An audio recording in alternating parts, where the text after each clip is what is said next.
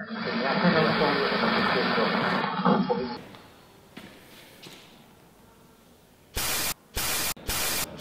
name is Nicola Bodano. I'm 18 years old.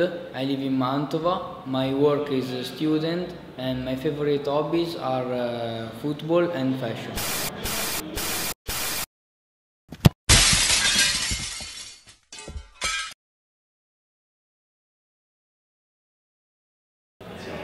Two of my best works are uh, Cafe Nero layout page